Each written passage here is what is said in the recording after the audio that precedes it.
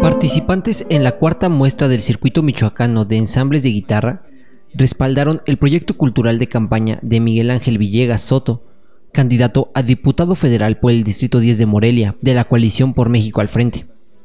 Según un comunicado de prensa, durante el evento que se llevó a cabo el pasado lunes, José Martín Rodríguez, director del Centro de las Artes de Uruapan, manifestó que en sus discursos los aspirantes a un cargo de elección popular siempre hacen mención de su compromiso por apoyar la cultura y la educación, pero que en el caso del abanderado por el Frente PAN PRD y Movimiento Ciudadano siempre se ha preocupado por impulsar el desarrollo de las actividades artísticas y culturales para beneficio de los niños y jóvenes o hacer un, comentario distintivo sobre el diputado, el candidato a diputado, Miguel Ángel Villegas. Eh, es curioso que en los discursos de los políticos siempre, o posibles políticos, siempre hacen mención del, del apoyo a la cultura y educación. Y pues felicitarlo porque él aún no gana,